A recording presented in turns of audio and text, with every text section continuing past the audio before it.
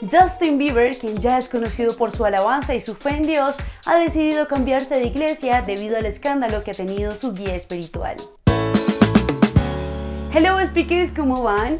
Desde hace tres años en los que Justin Bieber empezó a presentar problemas emocionales y de salud mental, el artista ha empezado a asistir a una iglesia cristiana en Estados Unidos, en la que gracias a él asistían varias celebridades debido a la fama que había obtenido.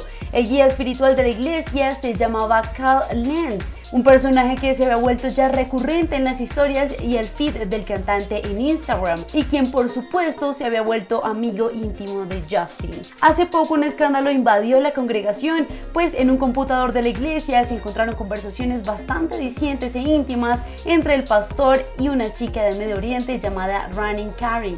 Su esposa Laura Lenz, con quien ya tenía tres hijos y con la que había estado ya 17 años, fue quien encontró aquella conversación. Días después, la misma Running Karim salió a hablar con algunos medios confesando todo su amorío. Se habían conocido en Domino Park, en Nueva York, cuando ella estaba buscando un asiento y él le ofreció el suyo.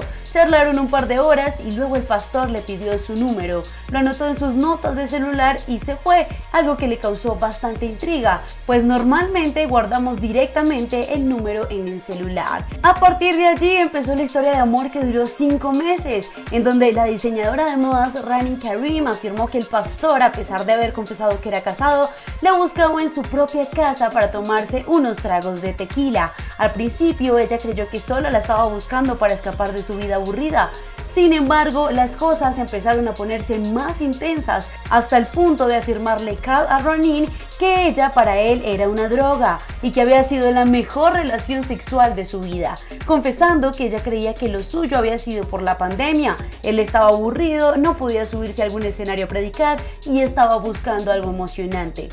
Las consecuencias de este morío habría sido la expulsión de toda la familia de la iglesia, a lo que Ranin se habría referido como injusto, pues le parecía bien que Carl ya no estuviera, pero su esposa Laura no tenía la culpa ni mucho menos sus hijos. Ante tal conmoción, la respuesta de Justin Bieber, a pesar de no haber sido directa, habría sido el cambio de iglesia, pues por obvias razones el cantante no defendía semejantes actitudes inmorales que el mismo Carl le había enseñado para con su esposa Hailey.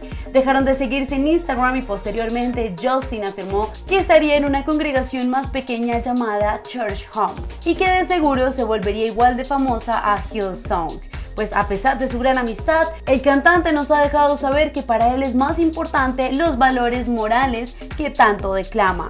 Déjenos sobre los comentarios qué piensan sobre la decisión que tomó Justin Bieber. ¿Será que fue correcta o por el contrario debió apoyar a su amigo en esta situación tan difícil? No olviden suscribirse a este canal para estar al tanto de las últimas noticias del entretenimiento y lo más viral.